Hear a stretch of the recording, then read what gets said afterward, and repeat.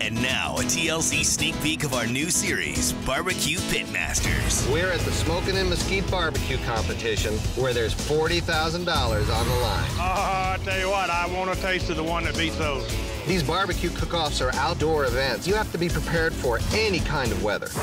We were hit by a huge thunderstorm. The hail came down and the wind started blowing. Hang on here.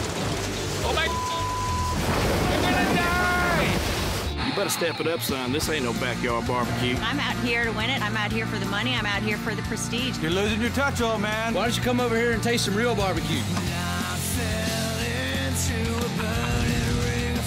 This right here is what's going to win it for me today. I'm always refining my rubs, refining my sauces. Taste the smoke, taste a little bit of heat. This is my secret ingredient right here. He may talk a good game, but he ain't one.